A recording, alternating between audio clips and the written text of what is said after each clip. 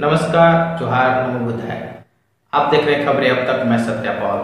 27 फरवरी को बोकारो के सेक्टर फोरडी स्थित महर्षि रविदास सेवा आश्रम में संत शिरोमणि महर्षि गुरु रविदास जी की 644वीं जयंती आश्रम समिति के सदस्यों व अनुयायियों के द्वारा बड़े ही भव्य तरीके से बनाया गया। जयंती समारोह का प्रारंभ आश्रम पुजारी सुदर्शन दास ने किया। इस अवसर पर उपस्थित अनुयायियों ने कहा कि महर्षि रविदास एक सामर्थ्य गुरु थे, जिन्होंने सामाजिक बुराइयों को समाप्त कर समता, स्वतंत्रता एवं बंधुत्व में जीने का संदेश व उपदेश समाज को दिया। उन्होंने जातीय भेदभाव को दरकिनार कर एक मानव एक समाज को प्राधान्यता दिया।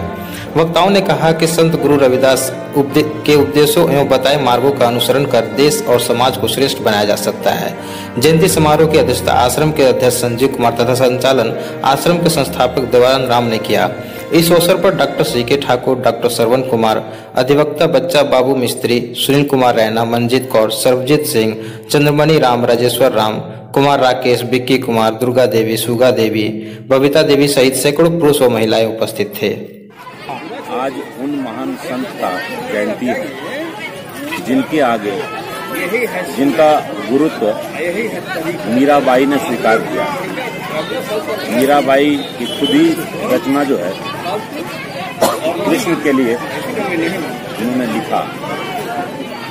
कृष्ण के प्रेम में सराबोर मीरा और उनके गुरु संत रविदास।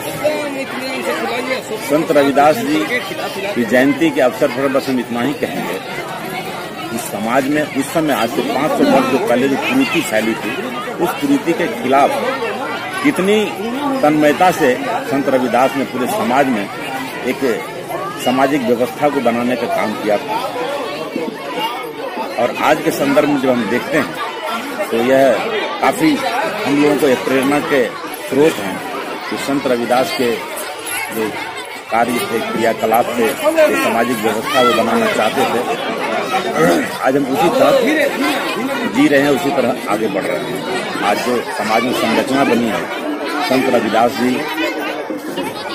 जो चाहते थे बिल्कुल वही धर्रे पर हम लोग जा रहे हैं। लेकिन आज इतना यह भी कहेंगे कि जो व्यवस्था संत रविदास के कहने पर कालांतर में बनते गया बनते गया, आज फिर जो दिल्ली के दरबार में, दिल्ली के जो तख्त पर बैठे लोग वो सामाजिक समरसता को बिगाड़ने का काम कर रहे हैं। निश्चित रूप से हम तमाम बहुजन को, तमाम लोगों को यह संदेश देना चाहेंगे कि आज पुनः संत रविदास के वचनों को, उनके जो कर्तव्य थे, उनको आगे बढ़ा, बढ़ाते हुए हम पुनः दिल्ली के गद्दी पर वैसे लोगों से उतारने का काम करें और बहुजन के लोगों को, जो समाज के हित में काम करते थे, संत रविदास जी के जितने फॉलोवर्स थे, उन लोगों को दिल्ली की गद्दी पर बैठाने का काम हो, यह आज यही संदेश है।